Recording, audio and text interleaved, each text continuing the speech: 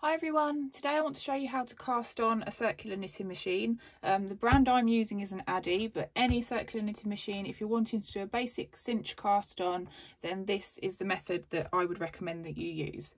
What you want to do is you get your yarn, make sure that your um, first pin is to the left of the feeder, and you want to drop in a decent amount of tail into the middle of your machine about that much. And then what you want to do is you want to loop the yarn underneath the first hook.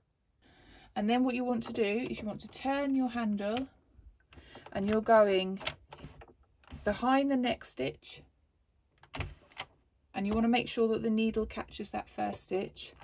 Then you're going in front, behind, in front, behind, in front, behind all the way around and you're making sure that those needles when you're doing it in front the hook is pulling the yarn down inside the machine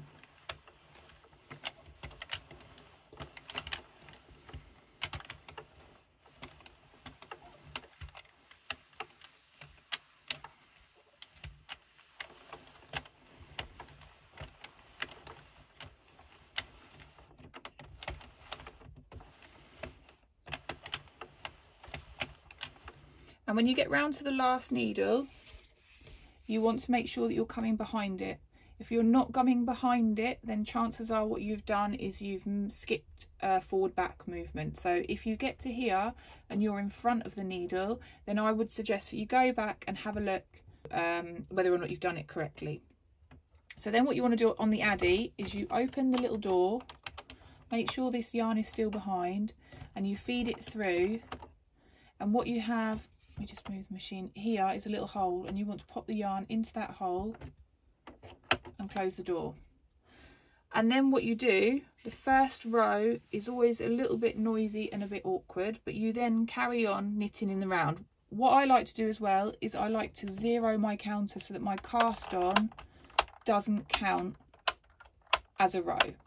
So you zero your counter however your counter zeros on your machine and when you get to this point you will then start going and knitting round. What you want to make sure on the first round it can be a bit awkward is this first tail just tug it tight. Not too tight but just enough so that you know that it's um, securely in there. And then you want to knit round but just taking care that each needle is pull, catching the stitch because if you're going to slip stitches often in the first round is when that slip stitch will happen. But you want to make sure that these white needles are taking the yarn and pulling it down inside the machine. And you also want to make sure that you this this bit that goes over the little hump is going down underneath. See here it's it's not gone under. You you want it to go underneath there so that you're getting nice neat consistent stitches.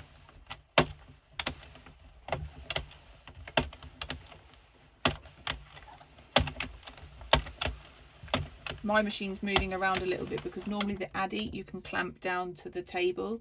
Um, I'd strongly suggest that you do that if you haven't haven't Addi so now you can see I'm back round to the black pin. And then literally you just carry on knitting and if you're new to it you want to just take the first few rows nice and easy. Um, it depends on the yarn that you use. This is Red Heart Super Saver Stripes um, and my machine doesn't mind it but it does tend to drop stitches more often with this yarn than it does with other yarns. And you just keep going round until you get to the row count that you want and I'm going to show you how to cast off in another video and also I will show you another cast on method uh, using waste yarn because some projects need waste yarn to cast on with as well. So hope to see you again soon. Let me know if there's any videos that you'd like to see using the Addi machine. See you again next time. Bye.